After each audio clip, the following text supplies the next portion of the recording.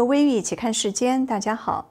在五十年代末，香港街头，一个风韵犹存、气质不凡的女乞丐，咬着烟斗沿街乞讨，偶尔倚靠在街角的台阶上晒太阳，全然不顾人们讶异的目光。这个女乞丐竟然是民国第一艳星杨奈梅。民国初期，受西方文化的影响，默片电影逐渐成为上海滩最时髦的新鲜玩意儿。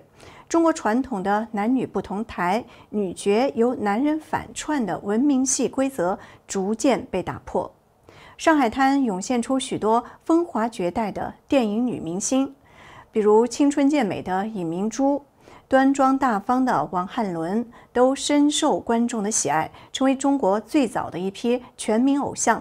直到另外一个女子以妖艳之姿登上荧幕的时候，民风依然保守的观众不由得大吃一惊。这个女子呀，叫做杨丽珠，艺名杨奈梅，是中国第一个艳星。人生如戏这几个字用在她身上是一点也不为过。今天我们就来说一说她的故事，看看她在人生弥留之际到底说了什么。一九零四年，美丽的杨丽珠出生在上海。她的父亲杨逸初是当时广东最有名的大富商，后来到上海经地产、燃料等行业，缔造了十里洋场首屈一指的富豪家族。杨丽珠从小就受到宠爱，父母视她为掌上明珠，溺爱有加。她呢，也逐渐的养成了乖张任性、奢华倨傲的大小姐的脾气。父亲原本打算送她出国深造，回来继承家业，光宗耀祖。岂料呀，杨丽珠对读书是丝毫提不起兴趣，却热衷于参加各种课外娱乐活动。她常常和母亲去剧场看演出，发现自己对表演很有兴趣。在上海物本女中毕业以后，杨丽珠总是打扮得新奇时髦，去电影院看西洋电影，或者是在舞池中出尽风头。并且因此结交了有“中国电影之父”之称的郑正秋，后来明星公司的创办人之一。杨丽珠对于传统戏剧中男人反串女人的装腔作势极为不屑，总是觉得要是自己登台演的必然会好上百倍。一九二三年，明星公司筹拍剧本《玉离魂》，剧本改编自鸳鸯蝴蝶派小说家徐枕亚，可谓是艳情小说的开山之作。也是关于他自己的故事，描写一位书生何梦霞在无锡附身崔家当家庭教师，和崔家的守寡媳妇白梨娘相恋，两人同处一屋却避不见面，仅通过梨娘之子为两人传递书信，互诉情愫。后来白梨娘将小姑崔君倩许配给了何梦霞。郑正秋刚和王汉伦签约，女一号是定了，但是呢，却苦于找不到合适的人来扮演小姑君倩。她是一个富家女，美艳而略带骄纵。正在此时，十九岁的杨丽珠找上门来，毛遂自荐。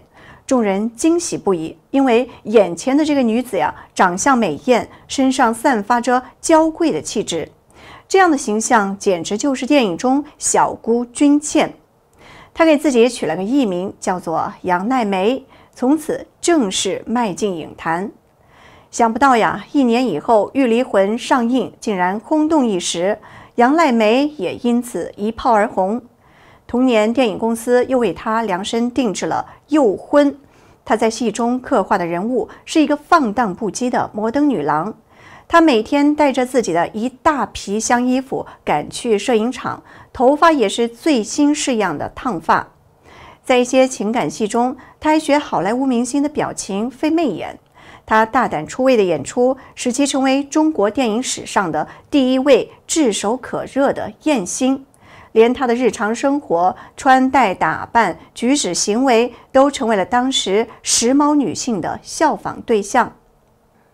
与他同公司的男星龚稼农在《龚稼农从影回忆录》中说：“南京路的何永安外滩的惠罗公司的最新女性用品，奈梅总是第一个顾客。几家著名的服装公司更因为奈梅的光临而生意兴隆。奈梅的服装式样是新奇的，发型是新奇的。这亦正如前几年赫本型头发为人效仿一样。而伊氏的标新立异更助长了明星的艳名。记得有一次，他穿了一身新设计的珠光闪闪的衣服，邀我和汤杰几个人去卡尔登跳舞。一进舞厅，便使所有的女客投以惊羡的眼光，男客们更为他卓越的风姿所渲感。我和汤杰虽已经是老主顾，但是在众目所视的局面下，也弄得很囧。而奈梅呢，却以众人的惊羡感到骄傲和满足。正当他被无数影迷拥簇和追捧的时候，父亲杨逸初当头给他浇了一盆冷水。他不许自己的女儿放弃大好前程，甘愿堕落成一个低贱的戏子。对于他演出的那些轻浮艳丽的角色，更是火冒三丈，无法接受。父亲下令不许他再出门演戏。眼看着正在实现的明星梦就要破灭，叛逆而倔强的杨奈梅对众人的追捧和镁光灯的聚焦有着超乎寻常的执着。她不惜离家出走，跟父母决裂。在脱离了家庭的束缚后，杨奈梅更像是一匹脱缰的野马，愈发的放任自己。除了陆续接拍了《好哥哥》《新人的家庭》《空谷兰》等电影之外呢，他还肆无忌惮地日日混迹于各种交际场所，跟各种公子小开厮混。他主演的电影《良心的复活》是包天笑根据托尔斯泰的小说《复活》改编的故事，一波三折，讲述了一个美丽的姑娘绿娃受富家公子伊道温引诱，献出了少女的贞操。伊道温一去不复返。绿娃怀孕生子，饱受磨难，流落青楼，后来被指控杀人嫌疑而被捕入狱。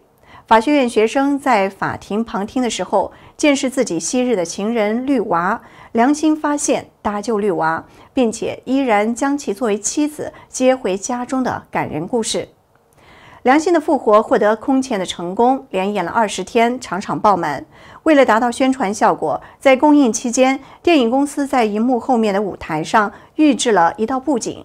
当影片放置绿娃当了奶妈，被主人辞退回家，见到儿子已经夭折、大痛而昏厥的时候，一幕徐徐升起，台上灯光通明，扮演绿娃的杨奈梅登上舞台，手抚摇篮。哀婉地唱起了专为这部电影所做的主题歌《乳娘曲》。金钱呀，拆散了人家母子不相逢；阶级呀，你把我的娇儿送了终。唱毕，一幕再缓缓落下，继续放映电影。这种别出心裁的安排，将气氛推向了高潮。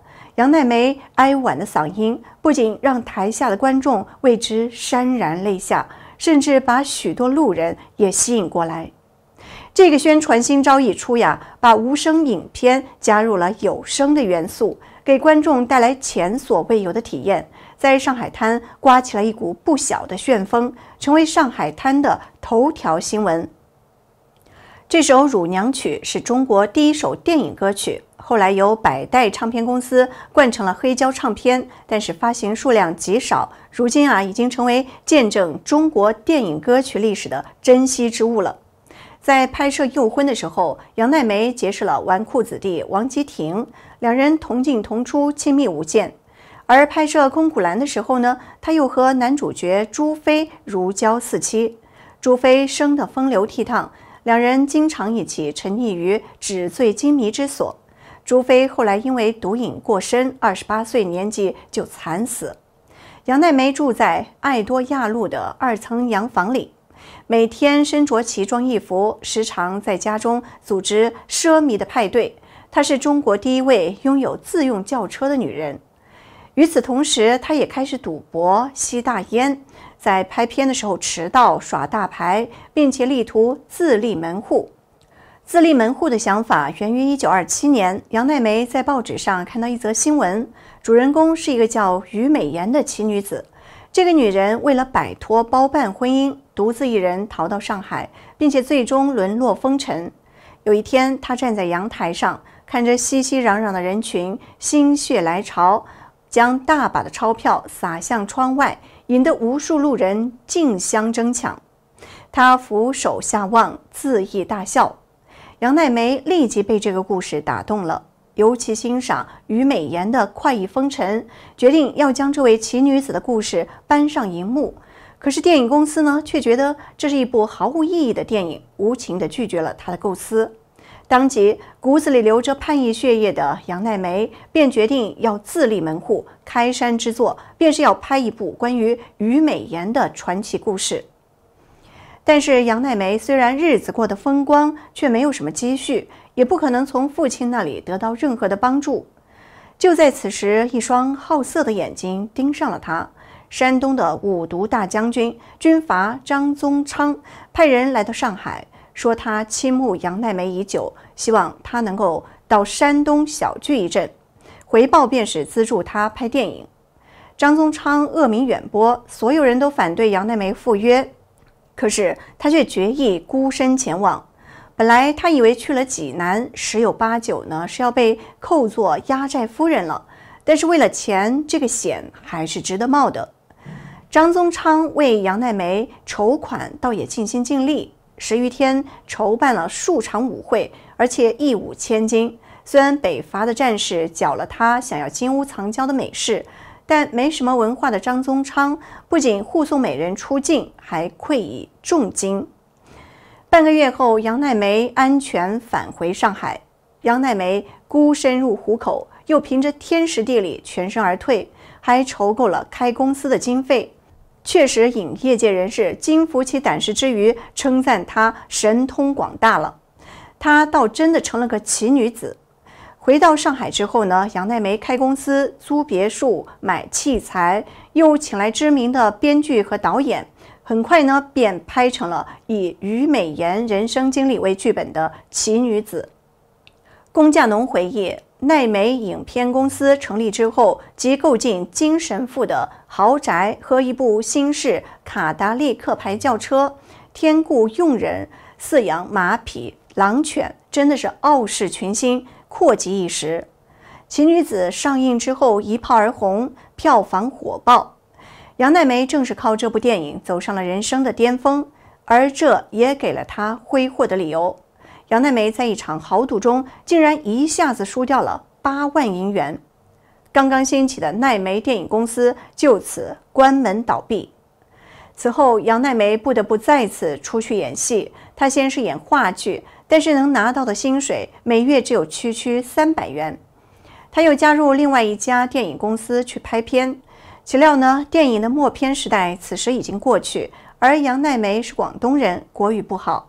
很快，她的美艳身姿便逐渐地从电影荧幕上消失了，而蝴蝶、阮玲玉等等一些后起的女明星迅速取代了她的位置。恰好这时候，杨奈梅遇到了孙中山顾问陈少白之子陈君景。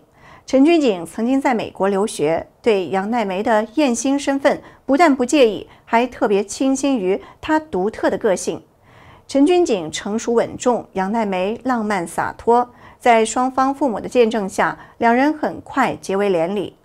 婚后，杨奈梅洗尽铅华，戒毒戒赌，安心操持家务，两人相亲相爱，很快就有了一个女儿。他的父母也感到非常欣慰，总算他安定下来了。然而好景不长。抗战爆发以后，杨奈梅先后经历了丈夫公司倒闭、父母相继离世、家业败落的一系列的打击，一家人只好移居香港。一家人挤在一间出租房里，依靠变卖细软艰难度日。这期间，她迫于生计，也曾经试图复出拍戏。在香港找不到机会，她便再次跑回上海，殷勤地和电影界的人士见面。